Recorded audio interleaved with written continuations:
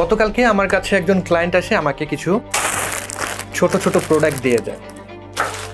কাজটা হলো, এই যে ছোট ছোট প্রোডাক্ট আছে, তাদের ওয়েবসাইটের জন্য এগুলোর ছবি তুলতে হবে। কিন্তু সমস্যা হলো প্রোডাক্টগুলো অনেক ছোট, তার উপরে অনেক শাইনি এছাড়া সব থেকে বড় যে প্রবলেম সেটা হলো ক্লায়েন্ট কি চায়, সে নিজেই জানে না। একদম বেসিক থেকে শুরু করতে হবে, একটা যদি ডিরেকশন থাকতো, বিষয়টা অনেক সহজ হয়ে যেত।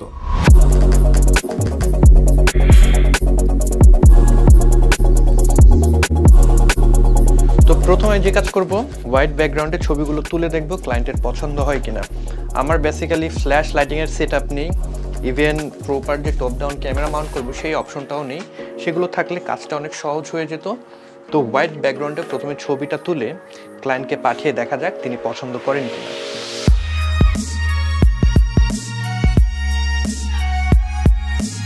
তো আমার সেট মোটামুটি শেষ। এই টেবিলটা হলো আমার মেইন বেস এইটার সাথে আমি একটা লাইট ব্যবহার করব, যেটা হলো গোডেক্সের এস এল সিক্সটি এটার সাথে এইটি ফাইভ সেন্টিমিটারের একটা সফট বক্স ব্যবহার করছি। ক্যামেরা হিসেবে আছে Sony Z V E ten lens হিসেবে আছে সিগমার থার্টি মিলিমিটার এই ওয়ান পয়েন্ট ফোর এইখানে আমি লেন্স সেটার অ্যাপাচারটাকে বাড়িয়ে টু পয়েন্ট এইট বা থ্রি পয়েন্ট টু এর মতো রাখব। এতে করে কি হবে? যেহেতু খুব কাছ থেকে ছবি তুলছি, আমার প্রোডাক্টটা যেহেতু অনেক ছোট, নির্দিষ্ট একটা জায়গায় ফোকাস না থেকে পুরো প্রোডাক্টটা ফোকাসে থাকবে। একটু শার্প ইমেজ পাওয়া যাবে। অ্যান্ড আমি যেটা করেছি, আমার মোবাইল ফোনের সাথে ক্যামেরাটাকে কানেক্ট করে রেখেছি, যাতে করে আমি মোবাইল ফোন দিয়েই ক্যামেরার যে ছবিগুলো তুলতে পারি। এতে সুবিধা যেটা ক্যামেরায় হাত দেওয়ার দরকার হবে না। যেহেতু এটা একটা সিজার আর্মে আমার ক্যামেরাটাকে আমি বসিয়েছি, এই কারণে যদি একটু হাত দিয়ে আমি টাচ করি তাহলে কিন্তু এটা নাড়াচাড়া করবে এবং যার ফলে আমার ছবিটা কিন্তু দেখতে অত ভালো হবে না। তো প্রোডাক্টটাকে মোটামুটি স্টেবল করে বসিয়ে দেন আমরা ছবি তুলবো। আমি প্রথমে এই লাইটটা অফ করে প্রিভিউটা কীরকম সেটা দেখব। তো এইখানে অনেক শ্যাডো আসছে রাইট অ্যান্ড তার সাথে সাথে এক্সপোজারটাও ঠিক নেই। এক্সপোজারটাকে আরেকটু ব্যালেন্স করার জন্য শাটার স্পিডটা আমি কমিয়ে দেব। এই পাশের যে শ্যাডো আসছে, এটাকে আমরা কমানোর জন্য রিফ্লেক্টর ব্যবহার করতে পারি, অথবা এই দিক থেকেও কিন্তু লাইট ব্যবহার করতে পারি। অথবা এই যে লাইটটা আছে, আমি ওয়ালের সাথে বাউন্স করে যদি দেই অনেকটাই কিন্তু শ্যাডোর দিক থেকে চলে যাচ্ছে। ছবি তোলা লাগে লাস্টবার আমি ক্যামেরার সেটিংসটা একটু বলি। ক্যামেরার যে শাটার স্পিড সেটা আছে থার্টিতে ওয়ান বাই থার্টি যেহেতু ফ্ল্যাশ ব্যবহার করছি না লাইট কম, এই কারণে শাটার স্পিডটা কমানোর দরকার হচ্ছে। মোবাইল ফোনটাকে আমি রিমোট হিসেবে ব্যবহার করব যাতে ক্যামেরায় হাত দেওয়ার দরকার না হয়। অ্যাপারচার আছে টু পয়েন্ট এইট এবং আইএসও আছে হান্ড্রেড তো আমরা ছবিটাকে যদি ক্লিক করি, ছবিটা তোলা হয়ে গেল। এবার এই ছবিটা ক্লায়েন্টকে পাঠানো যাক এবং দেখা যাক তার মতামত কি? এটা প্রথম ছবি। চলে তবে শ্যাডোটা একটু বেশি ডিস্ট্র্যাক্টিং তাই ফটোশপ দিয়ে শ্যাডো রিমুভ করে দিলাম।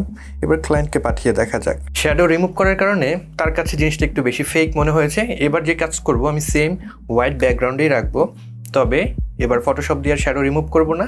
নর্মালি যেটা আসে স্লাইড যে শ্যাডোটা থাকে সেটা সহ তাকে পাঠিয়ে দেখা যায় ক্লায়েন্টের কাছ থেকে উত্তর পেয়ে গিয়েছি। তার ছবিগুলো ওইরকম ভালো লাগেনি। তো আমি যেটা বুঝলাম ক্লায়েন্ট চাচ্ছে ছবিগুলো এমনভাবে তুলতে যাতে করে এটা ফেক মনে না হয়। যেহেতু হোয়াইট ব্যাকগ্রাউন্ডে তুলেছি প্রপার লাইটিং ছিল প্রোডাক্টটা একদম হোয়াইট ব্যাকগ্রাউন্ডের উপরে ফুটে উঠেছে। তো ক্লায়েন্ট চাচ্ছে যাতে করে ছবিটা রিয়েলিস্টিক কোনো ব্যাকগ্রাউন্ডের উপরে করি, যাতে করে ওইটা ফেক মনে না হয়, একটু টেক্সচার থাকে ব্যাকগ্রাউন্ডে সো আমি মোটামুটি ক্লায়েন্ট কী চাচ্ছে বিষয়টা বুঝে গিয়েছি। তো ম্যাটেরিয়ালস কিছু খুঁজে পেয়েছে, ঘরের ভিতরে যে জিনিসপত্রগুলো ছিল, সেগুলোই ব্যবহার করব। আয়রন কারণ আছে, যেহেতু আমি এখানে ফেব্রিক ব্যবহার করব আয়রন দিয়ে এটাকে সমান করে নিতে হবে। মূলত যেহেতু এগুলো কোর্ট পিন এই কারণে কয়েকটা কোর্ট নিয়ে আসছি আমার। এগুলোকে ব্যাকগ্রাউন্ড হিসেবে ব্যবহার করব। এর সাথে সাথে শার্ট নিয়ে আসছি। এটা নিয়ে আসার কারণ হলো, এটার যে ফ্যাব্রিকটা আছে, এই লাইনগুলো আমার মনে হয় খুব ইন্টারেস্টিং কিছু ছবি আমাদেরকে দিতে পারে। এছাড়াও এই রুমের ভিতরে যে জিনিসগুলো রয়েছে টেক্সচার সেগুলোকেও কিন্তু আমি ব্যবহার করব।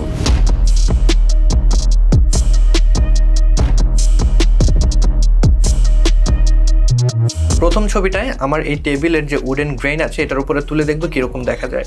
তো উডেন গ্রেনের উপরে রাখলে পরে স্বাভাবিকভাবেই যে প্রোডাক্টটা রাখছি, একটু ডিফারেন্ট লাগবে। যেহেতু নিচে একটা টেক্সচার ব্যাকগ্রাউন্ড রয়েছে, তো ছবিটা দেখে কিন্তু মোটামুটি ভালোই লাগছে। আমারও ভালো লেগেছে। এবার নেক্সট ছবিতে চলে যাব। আমার কাছে এই চেয়ারটা আছে, অনেক পুরনো একটা চেয়ার তবে এই চেয়ারের যে কাপড়টা আছে ফেব্রিকটা সেটা অনেক টেক্সচার তো এই চেয়ারটাকে এবার ব্যাকগ্রাউন্ড হিসেবে ব্যবহার করে দেখা যায় কীরকম ছবি আসে। এখানে কিন্তু চেয়ারটাতেও বেশ দারুণ একটা ছবি আমরা পেয়েছি। যেহেতু এখানে অনেকগুলো কোড পিন রয়েছে সো আমি স্যুটের উপরে রেখে ছবিগুলো তুলবো, আশা করি দেখতে ভালো লাগবে। তো প্রথমে এই স্যুটটার উপরে ছবিগুলো তুলি, এই শ্যুটটার উপরে তুলি।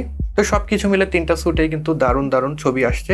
আমি যে কাজটা করেছি, যে প্রোডাক্টগুলো রয়েছে, এগুলোর যে কালার রয়েছে, এই কালার ভ্যারিয়েশনের উপর ডিপেন্ড করে স্যুটের যে কালার রয়েছে, সেটাকে চেঞ্জ করে দিয়েছি। ব্ল্যাক ব্যাকগ্রাউন্ডে তুললে কীরকম হয়? চলুন ব্ল্যাক ব্যাকগ্রাউন্ডে কিছু ছবি তোলা যাক। তো অনেকেই বলবেন, আমার কাছে তো ক্যামেরা নেই, এত দামি দামি ইকুইপমেন্ট নেই।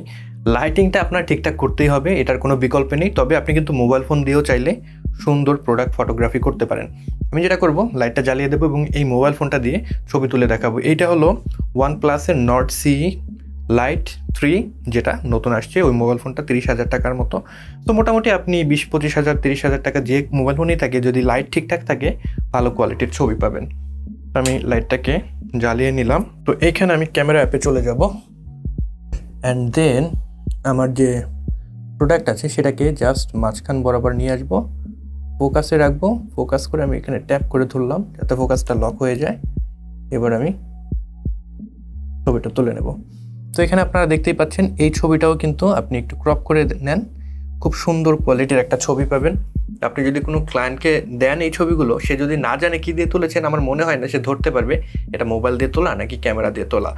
তবে এখানে আপনাকে মেক শিওর করতে হবে যখন মোবাইল দিয়ে ছবিগুলো তুলছেন, অবশ্যই লাইটিংটা ভালো হতে হবে। যদি লাইটিং ভালো হয় মোবাইল দিয়েও ভালো ছবি আপনি পাবেন। তো ক্লায়েন্ট রিপ্লাই দিয়েছে যে ছবিগুলো পরবর্তীতে পাঠিয়েছি সেগুলো তার কাছে ভালো লেগেছে এবং তিনি বলেছেন যে প্রোডাক্টগুলো রয়েছে সেগুলোর কালারের উপর ডিপেন্ড করে আমার ক্রিয়েটিভিটি কাজে লাগিয়ে যে ব্যাকগ্রাউন্ডের সাথে যে প্রোডাক্টটা যায় সেভাবে ছবিগুলো তুলতে। তো আমি এখানে সলিউশন পেয়ে গিয়েছি। তো আশা করি এই পুরো জার্নিটা আপনাদের সাথে শেয়ার করলাম প্রোডাক্ট ফটোগ্রাফিতে কীভাবে আমি হ্যান্ডেল করি ক্লায়েন্ট কী কী জিনিসগুলো চায়, সেগুলোকে কীভাবে অ্যাপ্রোচ করতে হয়, আশা করি একটা আইডিয়া আপনারা পেয়ে গেলেন। এই ছিল আজকের ভিডিও আশা করি ভিডিওটি আপনাদের ভালো লেগেছে। যদি ভালো লেগে থাকে কিংবা এই ভিডিও থেকে নতুন কিছু জেনে থাকেন, সেক্ষেত্রে এই ভিডিওটিতে একটি লাইক দিতে পারেন। এই চ্যানেলে আপনি নতুন হয়ে থাকলে সাবস্ক্রাইব করতে ভুলবেন না। I'll catch you next one until then goodbye